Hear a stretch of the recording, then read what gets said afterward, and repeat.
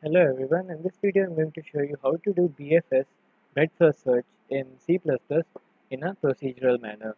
As in most of the times on the net you'll find it in an object-oriented fashion but here I'm going to show you how to do it in a procedural way. So first for the adjacency list of the graph I'm using a vector of integer and an array of that saying graph and a size can be anything so here I'm taking 4 suppose the size of the graph or the number of vertices are 4 and then I will be using an integer array which will keep track of whether the node is visited or not.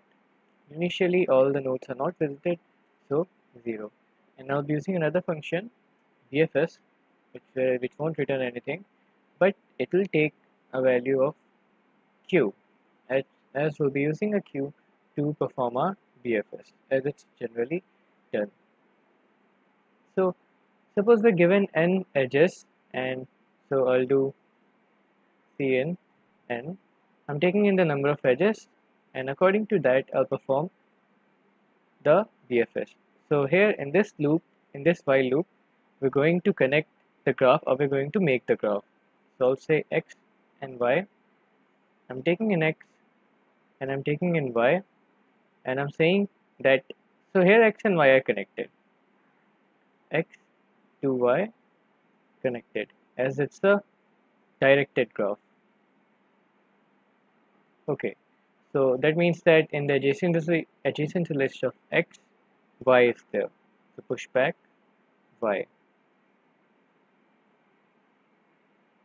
So if x is connected to y meaning simply that in the adjacency list of x add y. Now to do the BFS itself. Right? BFS or rather how to do the BFS. I'll move over or I'll iterate over all the nodes in my graph which is here 4 and then what I'll do is I'll perform BFS starting from the first node and likewise I'll move forward. So I'll say if the node is not visited. So if visited is 0 then this will be 1 so what we have to do is we add it to our queue queue dot push the number and then we make the visited as true for that number. Then we perform BFS on that So writing the code for BFS, void BFS, it's taking in a value of taking in Q, having the name Q of integer. Now, what I'll do inside the queue is I'll say while queue dot size, meaning that if the size of the queue is greater than zero, meaning if there's still something inside the queue, then we keep on doing it till it's not empty. When it's empty we move out of the while loop. So what I'll do inside is first I'll pop out the front element.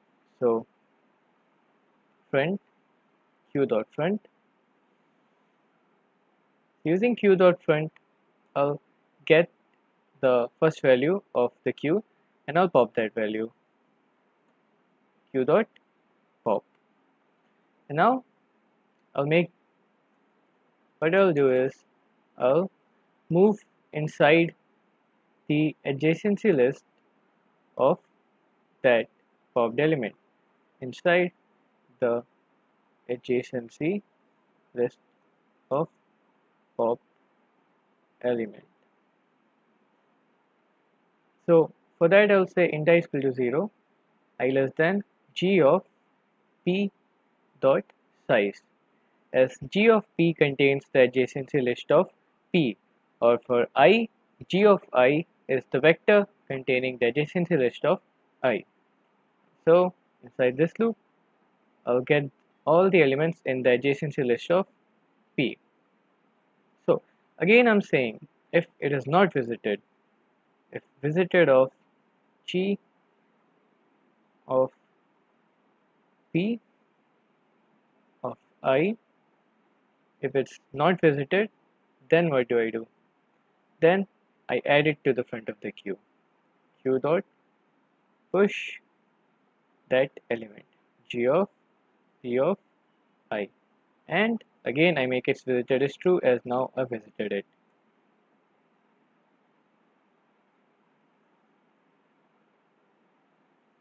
So now its visited is true.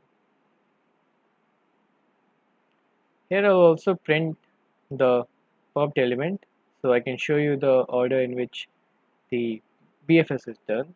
So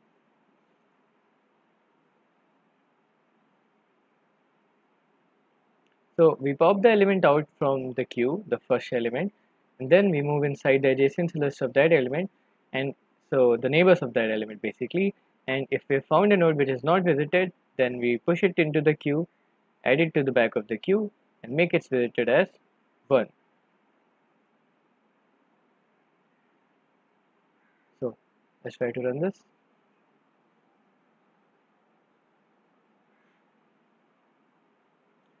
this queue was not declared in the scope oh we didn't declare the queue so we have queue of int q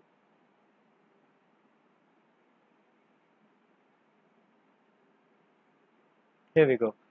So I'll take an example from GeeksforGeeks where let's say we have six edges and the edges are connected like this.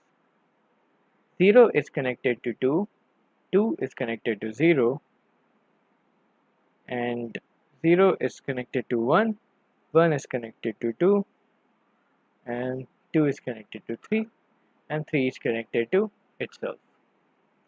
So as you can see the values starting from 0 are coming out to be 0 2 1 3 so if you take a pen and paper and plot the graph according to these connected vertices then you'll find that the BFS is being done in this way only.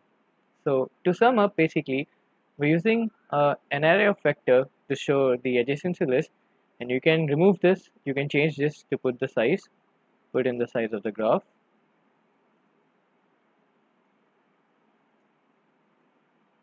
and then basically using that what you're doing is you're making the adjacency list over here in this while loop according to the edges given then in this loop, you're iterating over all the nodes. If it's not visited, you're pushing it into the queue, you're making it visited, and you perform BFS with that queue. And in the BFS, while the queue is not empty, you keep on popping one element and you go into the adjacency list of that element and you keep on pushing it to the queue. So this is how you do BFS in C++ in a easy and simple procedural manner. Thank you.